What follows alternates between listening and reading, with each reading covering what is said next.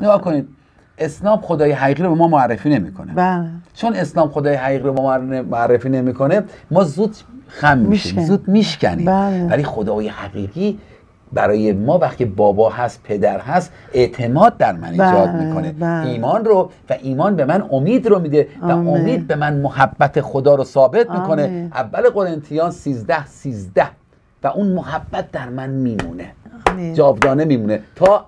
ابد جاودانه میمونه پس آمین. مهمه حقیقت رو بطلب حقیقت رو آزاد می‌کنه آمین. برادرم. هم وطن عزیزم که سیاسی هستی هم وطن عزیزم که هنرمند هستی هم وطن عزیزم که امروز در لباسی داری خودتو به دولت جمهوری اسلامی فروختی پاسدار هستی بسیجی هستی آخوند هستی اگر طالب حقیقت باشی مطمئن باش حقیقت رو آزاد می‌کنه و به تو آمین. جرأت میده بیستی برای اون چیزایی که درست هستش.